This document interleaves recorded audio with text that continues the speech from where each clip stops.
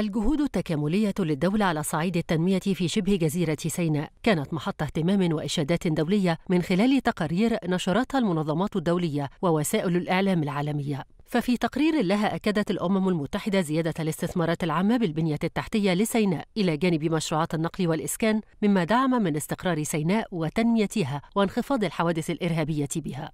أما منظمة الأمم المتحدة للطفولة يونيسيف والتابعة للمنظمة الدولية أشارت إلى توسيع الدولة نطاق دعمها في مجال المياه والصرف الصحي والنظافة في مدارس سيناء. وذلك من خلال تحفيز مشروعات البنية التحتية للمياه والمساعدة في الحفاظ على سلامة الطلاب وصحتهم لخلق بيئة تعليمية آمنة لجميع الطلاب. بدورها أعلنت موسوعة جنس للأرقام القياسية تسجيل محطة بحر البقر في شبه جزيرة سيناء كأكبر محطة معالجة في العالم حيث تقدم مصدرا هاما لمياه الري وحلا فعالا لدعم الزراعة في سيناء.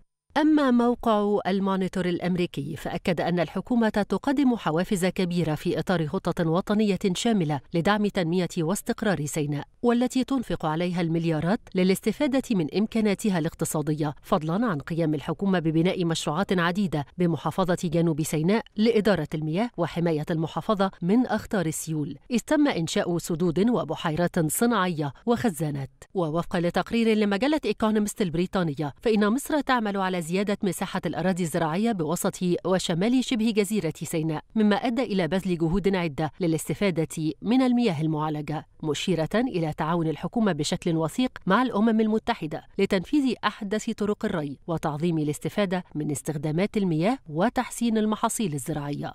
وفي تقرير لمجموعة أكسفورد للأعمال البريطانية للاستثمارات والدراسات الاقتصادية أشادت المجموعة بتشييد عدد من الأنفاق الجديدة مما ساعد على تسهيل الربط بين سيناء والعديد من المحافظات.